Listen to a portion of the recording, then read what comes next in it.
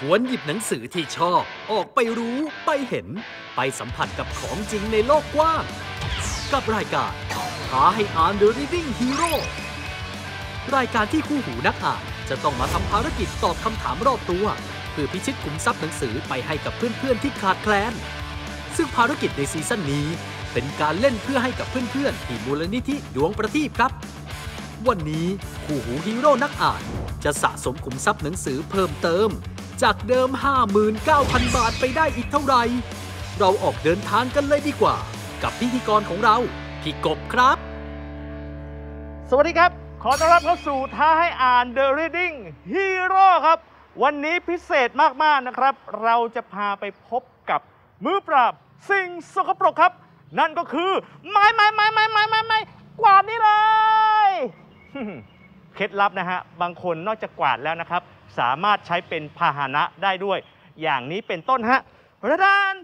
บินเลยไปพบกับไม้กวาดฮู้ฮู้ฮู้ฮู้เคยสงสัยกันไหมว่า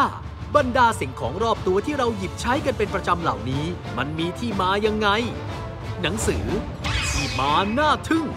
สรรพสิ่งในชีวิตประจำวันเล่มนี้ตอบได้ ไม่ว่าจะเป็นที่มาของชุดกันฝน ชุดกันเปียกที่รุ่นแรกๆนั้นทำมาจากยางพารา กางเกงยีน กางเกงสุดถึกทนทาน ของผู้ใจนักขุดทอง และแน่นอนที่ขาดไม่ได้ก็คือ เรื่องราวของไม้กวาด พระเอกของเราในวันนี้ ได้เวลาไปดูเรื่องราวอันน่าทึ่งของสิ่งของธรรมดา แต่มีที่มาไม่ธรรมดา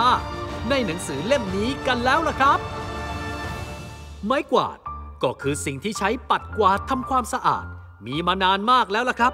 นานจนไม่มีใครรู้ว่า ไม้กวาดด้ามแรกเกิดขึ้นมาตอนไหน รู้แต่ว่าในยุคแรก ๆ ถูกนำมาใช้ทำความสะอาดเท่าฐานบริเวณเตาไฟ โดยในปีคริสตศักราช 1810 หรือประมาณ 200 กว่าปีก่อน นายลีวายดิกเคนสันได้ผลิตไม้กวาดให้ภรรยาของเขาใช้งาน โดยนำเข้าฟ่างผูกติดกันด้วยเชือก ต่อมา มีคนสนใจขอซื้ออย่างล้นหลาม จึงได้พัฒนาไม้กวาดให้มีด้ามจับ มีทั้งแบบยาวปลายแข็งใช้กวาดนอกบ้าน และแบบสั้นปลายนุ่มสำหรับกวาดในบ้าน ปัจจุบันโลกของไม้กวาดกว้างขึ้นเยอะครับ เรามีไม้กวาดหน้าตาหลายแบบที่ทำขึ้นจากวัสดุต่างชนิดกัน ไม่ว่าจะเป็นไม้กวาดดอกหญ้า ที่ใช้กวาดกันบนพื้นเรียบๆแห้งๆในบ้าน ไม้กวาดทางมะพร้าวสำหรับกวาดบนดินหรือที่เปียก หรือไม้กวาดไม้ไผ่สำหรับกวาดเศษหญ้าและใบไม้ แต่กว่าจะกลายมาเป็นของใช้จำเป็นที่เนรมิตให้ทุกที่สะอาดวับได้ในพริบตา ต้องผ่านอะไรมาบ้าง วันนี้เราจะออกไปตะลุยเส้นทางการเกิดของไม้กวาดกันครับ และคู่หูฮีโร่นักอ่านประจำสัปดาห์ที่จะมาร่วมพลังตอบคำถามไปด้วยกัน น้องหนามเตย มือหนึ่งเรื่องความสะอาดประจำบ้าน สวัสดีค่ะ หนูชื่อหนำเตยค่ะ ถ้ามีหนูอยู่เนี่ยรับรองว่าบ้านสะอาดแน่นอนค่ะ เพราะว่าหนูเนี่ยทั้งกวาดทั้งถูทั้งซัก ทั้งล้างเลยค่ะ และน้องน้ำตาล คนนี้เนี่ยไม่ค่อยถูกกับไม้กวาดเท่าไหร่ครับ สวัสดีค่ะ หนูชื่อน้ำตาลค่ะ เวลาหนูเห็นไม้กวาดทีไรหนูรู้สึกเหนื่อยทุกทีเลยค่ะ เพราะว่าเวลาหนูกวาดขยะเนี่ยขนที่ไม้กวาดมันชอบร่วงทำให้หนูรู้สึกว่ากวาดยังไงก็กวาดไม่เสร็จค่ะ แหมทั้งสองคนนี้มีความทรงจำเกี่ยวกับไม้กวาดคนละแบบเลยนะครับ เอาเป็นว่า วันนี้เดี๋ยวเราไปเรียนรู้เรื่องราวสนุกๆเกี่ยวกับไม้กวาดเพิ่มเติมกันดีกว่า ถ้าพร้อมแล้วก็ไปกันเลย ขึ้นชื่อว่าไม้กวาดนอกจากพวกมันจะเป็นอาวุธที่ใช้ทำลายล้างฝุ่นและความสกปรกแล้ว ยังมีความน่าสนใจในแง่อื่นๆ อีกมากนะครับ อย่างเช่น เรื่องของความเชื่อ ไม่ว่าจะเป็นความเชื่อแบบไทย ๆ ที่ว่า เข้าบ้านใหม่อย่าใช้ไม้กวาดเก่า เพราะจะพาสิ่งไม่ดีเข้าบ้าน หรือความเชื่อของชาวตะวันตกที่ว่ากันว่า ไม้กวาดคือยานพาหนะของเหล่าแม่มด ตัวแทนของสิ่งชั่วร้าย เรื่องราวของไม้กวาดยังไม่หมดแค่นั้นครับ เข้าสู่คำถามข้อแรกมูลค่าขุมทรัพย์หนังสือคนละ 2,000 บาท ได้เวลากับคำถามข้อที่หนึ่งสำหรับน้อง ๆ ที่ดู Facebook Live อยู่สามารถร่วมสนุกตอบคำถามกันได้เลยนะครับ ในข้อนี้เกี่ยวข้องกับไม้กวาดนะครับ ซึ่งน้อง ๆ จะต้องวิเคราะห์กันดีๆ เพราะเรามีคำถามหลอกด้วย กับคำถามต่อไปนี้ว่า ข้อใดจริงครับกอไก่ ไม้กวาดยุคแรกทำจากเส้นผมมนุษย์ ขอไข่ มีไม้กวาดที่เหาะได้จริง ๆ หรือคอควาย ใช้ไม้กวาดเป็นอุปกรณ์แข่งขันกีฬา โอลิมปิก เราถามว่าไม้กวาดยุคแรกทำจากเส้นผมมนุษย์เส้นผมของคนเนี่ยมากวาด จริงหรือไม่ครับ ไม่จริงค่ะ เพราะอะไรครับ เพราะว่าเส้นผมมนุษย์มันบางอะค่ะ ส่วนตรงขนของไม้กวาดอะค่ะ มันจะหนาหน่อยอะค่ะ อืม ซึ่งเวลากวาดหนูว่าน่าจะกวาดไม่ได้ค่ะ หนูก็คิดว่าไม่จริงค่ะเอาเส้นผมของมนุษย์ไม่มีหนาๆเหรอ มีบางคนค่ะ แต่หนูคิดว่ามันมันไม่น่าจะกวาดได้อะค่ะ ไม่จริงนะอ่าน้ำเตยครับ ไม้กวาดยุคแรกทำจากเส้นผมมนุษย์ ไม่จริงค่ะ เพราะว่าน่าจะต้องใช้เยอะแล้วมันก็น่าจะใช้หลายคนมันก็เลยน่าจะแพงอะค่ะ โอ้แต่มันยุคแรกนะ หลาย ๆ คนก็อาจจะเอาผมมารวมกันนะ คิดว่าไม่ใช่นะ ค่ะค่ะขอไข่มีไม้กวาดที่เหาะได้จริง หนูคิดว่าไม่จริงค่ะ เพราะว่าไม้กวาดที่ห่อได้จริง ถ้าถ้ามันมีจริง ๆ คนก็อาจจะไปซื้อหรือไม่ก็มันแพงอะค่ะ แล้วก็อาจจะออกข่าวด้วยอะไรประมาณนี้ค่ะแล้วเคยเห็นข่าวยังอืมไม่เคยค่ะอะน้ำเตยครับ ไม่น่าใช่ค่ะ เพราะว่าขนาดเครื่องบินมันก็ต้องมีเครื่องยนต์ติดอยู่แล้วไม่กวาดมันด้ามแค่นั้นมันจะติดเครื่องยนต์ตรงไหนอะคะโอ้เหรออะมอเตอร์เล็กๆไงอาจจะประดิษฐ์มอเตอร์เล็ก ๆ ได้แล้วเค รื่องยนต์ก็หนักอะค่ะ แล้วตัวคนก็หนักแล้วไม่กวาดมันเบาก็อาจจะไม่ลอยขึ้นค่ะ โอ้คิดว่าไม่มี อะมาที่ใช้ไม้กวาดเป็นอุปกรณ์แข่งขันกีฬาโอลิมปิกครับ โอลิมปิกรู้จักเปล่าเด็ก ๆ เนี่ย รู้จักค่ะ เป็นยังไงโอลิมปิก จะมีการแข่งบอลวอลเลย์บอลหรือไม่ก็ตะกร้อหรือไม่ก็อย่างอื่นหลาย ๆ อย่างค่ะ ไม้กวาดเป็นอุปกรณ์แข่งขันกีฬาโอลิมปิกอะอีกสองข้อไม่จริงแล้วไงคราวเนี้ย ข้อนี้ว่าไงครับ จริงไม่จริง ถ้าจริงค่ะ จริงด้วย แล้วแข่งอะไรอะ แข่งกันกวาดพื้นหรือไม่ก็แข่งกันทำไม้กวาดอะไรประมาณเนี้ยค่ะ แข่งกวาดพื้นอันนี้น่าสนใจมาก จะทำให้เด็กมีวินัยอย่างยิ่งเลยนะอะน้ำเตยครับแข่งอะไรกันเนี่ยไม้กวาดเป็นอุปกรณ์แข่งขันกีฬาโอลิมปิกอะคิดว่าจริงไม่จริงจริงอะค่ะจริงด้วยนะอะอะลองหยิบมาหนึ่งอันหนึ่งอันอะอาจจะกีฬาอะไร ด้ามมันเป็นแบบไม้ยาวๆอะค่ะ เขาก็อาจจะแข่งแบบแข่งสนุกอะไรอย่างเงี้ยค่ะ แล้วแล้วแทงยังไงครับ ก็จับอย่างนี้แล้วก็ อ๋อ ต้องจับแบบนี้ด้วยตามหลัก แล้วงี้เลย ยืนที่โต๊ะ แล้วก็ ใช่แล้วก็เล็งไหม เล็ง เล็งอะ เล็ง แล้วไงครับ แล้วก็อย่างนี้กระทุ้ง อ๋อ แล้วทำไมถึงไม่ใช้ไม้สนุกเกอร์อะ ก็สมัยก่อนมันอาจจะยังไม่มีไม้สนุกอะค่ะ เขาก็เลยหาอะไรที่มันมีอยู่แล้วเอามาใช้ก่อนนะคะ อ่าอะแล้วคิดว่าเล่นอะไรได้อีกอะน้ำตาลลองทุยคิดว่าเล่นอะไรได้อีกครับ หนูว่าน่าจะใช้ตีกอล์ฟได้ตีกอล์ฟแล้วจะเหวี่ยงยังไงวงสวิงจะเป็นแบบไหนครับ โอ้ใช้ใช้ด้ามประมาณตรงเนี้ยค่ะแล้วก็เออเออตวัดตีไปเลยโหต้นกำเนิดกีฬากอล์ฟตวัดด้วยไม้กวาดนี่เอง อย่างนี้ใช่ไหมใช่ค่ะ อุปกรณ์เก็บกันครับ อุปกรณ์เก็บก่อนเพราะเราจะต้องตอบคำถามแล้วกับ ข้อใด จริงครับ น้ำตาลตอบข้อ คอควายค่ะ ใช้ไม้กวาดเป็นการแข่งขันโอลิมปิกค่ะ อ่า เป็นอุปกรณ์กีฬาโอลิมปิกแล้วครับ น้ำเตยตอบข้อ คอควายเหมือนกันค่ะ ใช้ไม้กวาดเป็นการแข่งขันกีฬาโอลิมปิกค่ะ ในข้อนี้ตอบเหมือนกันเลยครับ ถ้าถูกต้องรับขุมทรัพย์หนังสือ 2,000คูณ2เท่ากับ 4,000 บาทนะครับ แต่ถ้าผิดก็เป็นศูนย์ไปนะครับ และคำตอบครับข้อใดจริงคำตอบก็คือ ข้อ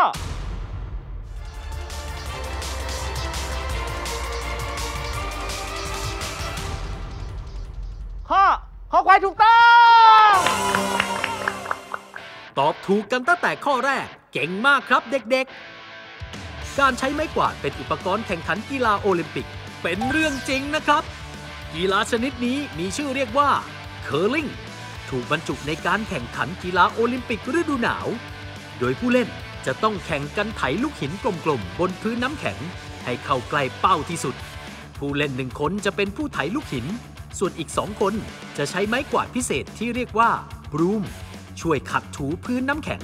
เพื่อกำหนดเส้นทางและความเร็วของลูกหิน ให้เป็นไปตามที่ต้องการครับ แต่ปัจจุบันเปลี่ยนมาเป็นไม้กวาดสำหรับกีฬาเคอร์ลิงโดยเฉพาะทำจากผ้าไนล่อน ขนแกะหรือขนม้า และด้ามจับจากไฟเบอร์กลาสที่มีน้ำหนักเบา และกวาดผิวหน้าน้ำแข็งได้ดีกว่า ข้อนี้ตอบถูกทั้งคู่ สะสมขุมทรัพย์หนังสือให้กับเพื่อนๆ ในมูลนิธิดวงประทีปไปก่อนเลย 4,000 บาทครับ และในวันนี้ครับ เราพาออกมาตะลุยโลกกว้างเรียนรู้เรื่องไม้กวาดกันทั้งที มาลองทำไม้กวาดกันดูสักหน่อยดีกว่า ว่าแต่วันนี้เด็กๆ จะได้เรียนรู้การทำไม้กวาดแบบไหน ไปคุยกับผู้รู้ของเรากันเลย พี่ตูนครับ สถานที่แห่งนี้ถือว่าเป็นฐานทัพในการผลิตนะครับ คู่ปรับของสิ่งสกปรกก็คือไม้กวาดนั่นเองนะฮะที่กองอยู่เอาไปกวาดได้เลยไหมครับ คิดว่ายังนะครับอะยังนะเอ่อดอกหญ้าเนี่ยครับก็จะเป็นอ่าส่วนประกอบสำคัญสำหรับไม้กวาดนะครับ แล้วดอกหญ้าเราสามารถปลูกเองได้เลยหรือเปล่าคะอ่าถ้าเป็นของพี่พี่จะไม่ได้ปลูกเองครับพี่ก็จะไปเอามาจากอ่าคุณลุงคุณป้าที่จังหวัดปราจีนบุรี ที่นู่นเนี่ย คือเขาจะมีดอกหญ้าเยอะมาก จะมีทุ่งนาดอกหญ้าที่เขาจะปลูกไว้นะครับ แล้วก็ที่นู่นเขาจะเรียกว่าดอกแขม ดอกแขม ซึ่งมันสูงถึงประมาณ 2 เมตรได้เลยครับ จากดอกแขมแล้วมาเป็นดอกหญ้าแบบนี้ยังไงครับเนี่ย ถ้าเป็นของเราเนี่ยครับ แต่เราก็จะซื้อมาเป็นกระสอบ อ๋อ ซื้อมาแล้วนะฮะ ครับ อ๋อเขาทำอย่างนี้มาแล้วนะครับ ครับ แล้วก็ตอนเราซื้อมาเป็นกระสอบเสร็จแล้วเนี่ย เราก็จะมาดูว่ามันจะมีบางอันที่มันเป็นบางอันที่สั้นครับบางอันที่ยาว แล้วก็บางอันที่มันงอทีเนี้ย ถ้ามันงอมากแล้วก็จะมาจุ่มน้ำแล้วก็ตากแดด แล้วก็มาหวีให้มันตรงเหมือนเดิมได้หลังจากนั้นล่ะครับ เอ่อก็คือการทุบดอกหญ้าครับ ยังมีทุบอีกเหรอ เด็กๆรู้ไหมว่าทำไมถึงต้องทุบดอกหญ้า ไม่รู้ค่ะ เพราะว่าถ้าเรายังไม่ทุบดอกหญ้า ตัวดอกหญ้ามันจะมีฝุ่นทีนี้เราก็ต้องทุบให้ฝุ่น แล้วก็เศษผงต่างๆหนองดอกหญ้าออกให้หมดก่อน โอ้ถึงจะใช้งานได้ง่ายอ่า มาทุบกันเลยไหมฮะ ทุบยังไงครับเนี่ยพี่ตูน ครับ เดี๋ยวผมสาธิตให้ดูนะครับโอ เคแล้วก็กำมาหนึ่งมัด เท่าครับ ที่เราถือได้ เสร็จแล้วก็จะมีไม้ทุบ อ๋อ นี่ฐาน อันนี้เป็นฐาน อันนี้ก็ใช้เป็นฐาน อ๋อ แล้วก็เราก็จะทุบ ก็คือเราทุบเพื่อที่จะไล่ฝุ่นออก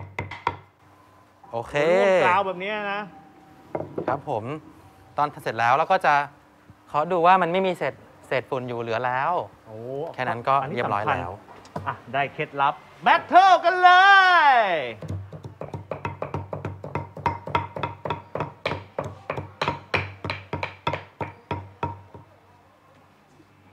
รู้แล้วรู้แล้วรู้แล้วต้องใส่ feeling ใส่ feeling ประมาณแบบ ออกไปจากดอกหญ้าเดี๋ยวนี้นะลองใส่อะเราใส่ฟิลลิ่งหน่อยใส่ฟิลลิ่งหน่อยออกไปเดี๋ยวนี้นะ นี่เออเอออ่าเอาละครับ พร้อมตรวจงานสำหรับพนักงานทุบดอกหญ้าครับพี่ตูนครับ น้ำตาลยังไงครับ โอเค อันนี้ก็ผ่านครับทานครับ และน้ำเตยของน้าเตยก็ผ่านเหมือนกันครับอ่ายอดเยี่ยม มา และหลังจากที่เราทุบดอกหญ้าจนไม่มีฝุ่น หรือยอดดอกหญ้าร่วงลงมาเรียบร้อยแล้ว จากนั้นก็นำมาผูกเป็นช่อด้วยเส้นได้นำแต่ละช่อมาเรียงกันให้เป็นแพร แล้วก็ประกอบร่างกับด้าม ได้ออกมาแล้วครับ ไม้กวาดดอกหญ้าพร้อมใช้งานจริง แต่เคยกันไหมครับ ไม้กวาดบางด้าม พอใช้เข้าจริง ๆ กวาดไปกวาดมา กวาดไปเรื่อยๆ เอา ดอกหญ้าในไม้กวาดหลุดเกลี้ยง ปัญหานี้มีทางออก ถ้าเราทำบางสิ่งบางอย่างกับไม้กวาดครับ เข้าสู่คำถามข้อที่ 2 มูลค่าขุมทรัพย์หนังสือคนละ 3,000 บาท ได้เวลากับคำถามข้อที่ 2 สำหรับน้อง ๆ ที่ดู Facebook Live อยู่สามารถร่วมสนุกตอบคำถามกันได้นะครับผม ในข้อนี้เกี่ยวข้องกับไม้กวาดที่เราใช้กันอยู่ และจะมีเคล็ดลับสำคัญเนี่ยฮะปัญหาของการใช้ไม้กวาดทุกบ้านเลย มันจะหลุดหลุดลุยลุยแบบเนี้ย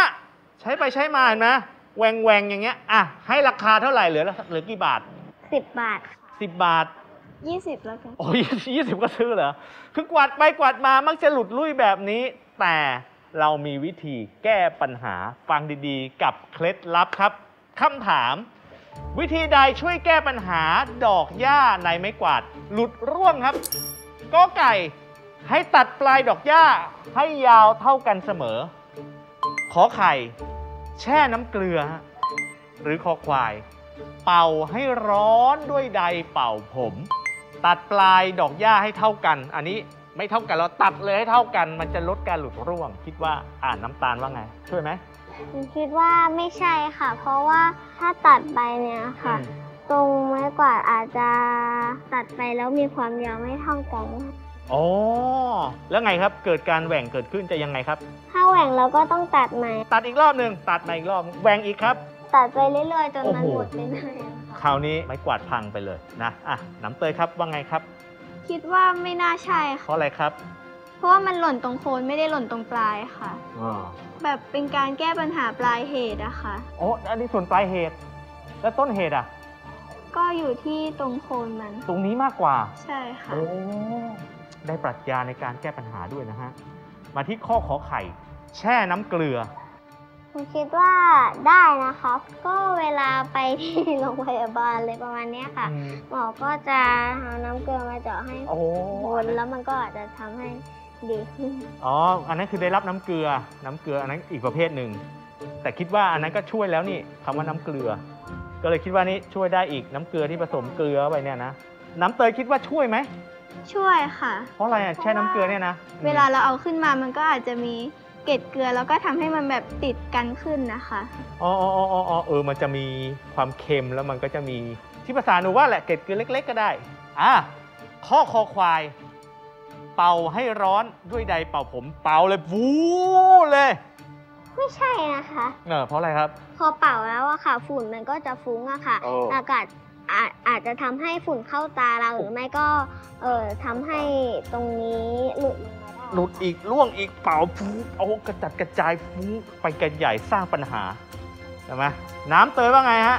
ไม่ช่วยค่ะ เพราะอะไรครับ เวลาเอาไดร์เป่าผมมาเป่าอะค่ะโอ้มันก็มีความร้อนแล้วก็ร้อนเลยอะถ้าไปโดนไม้กวาดอะค่ะ มันก็จะยิ่งแห้งแล้วก็กรอบมันก็ร่วงมากขึ้นค่ะ โอ้เอาละครับ เหมือนจะได้คำตอบนะ ตอบเลยไหมอืมตอบเลยค่ะ เอาละครับ วิธีใดช่วยแก้ปัญหาดอกหญ้าในไม้กวาดหลุดร่วงนะครับ น้ำตาลตอบข้อ ขอไข่ค่ะ เอาไม้กวาดไปแช่น้ำเกลือค่ะน้ำเตยตอบข้อ ขอไข่เหมือนกันค่ะ เอาไปแช่น้ำเกลือค่ะ ทั้งสองคนตอบเหมือนกันเลยนะครับ ว่าแช่น้ำเกลือคุณผู้ชมคิดอย่างไรนะ ตอบเหมือนกัน 2 คน ถ้าถูกต้องรับขุมทรัพย์หนังสือ 3,000คูณ2เท่ากับ 6,000 บาท แต่ถ้าผิดนะฮะศูนย์เลยข้อนี้ และคำตอบครับ วิธีใดช่วยแก้ปัญหาดอกหญ้าในไม้กวาดหลุดร่วงครับคำตอบก็คือ ข้อข้อ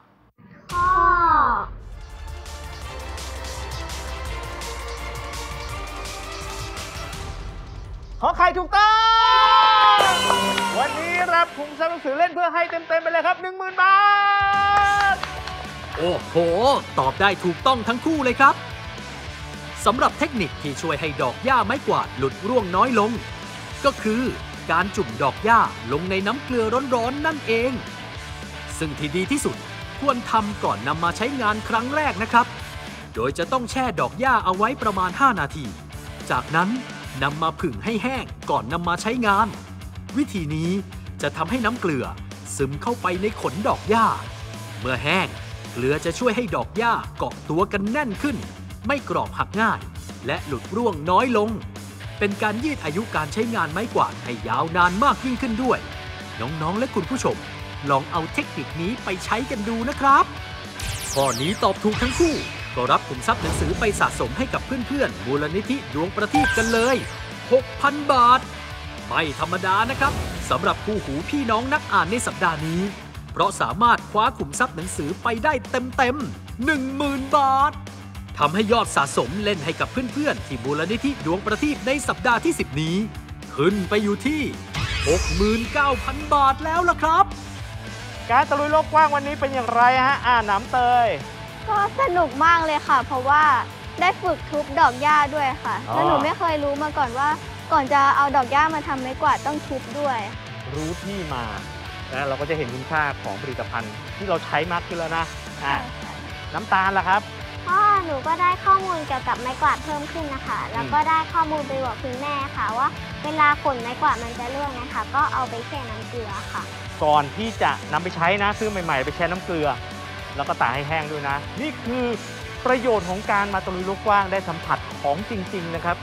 ครั้งหน้านะครับ เราจะไปตะลุยโลกกว้างกันที่ไหนต้องติดตามชมกันนะครับ วันนี้หมดเวลาแล้วเราทั้งสามคนขอลาไปก่อนพบกันใหม่กับท้ายอ่านเดอะลิ d ดิ้งฮีโร่นะครับสวัสดีครับสวัสดีค่ะ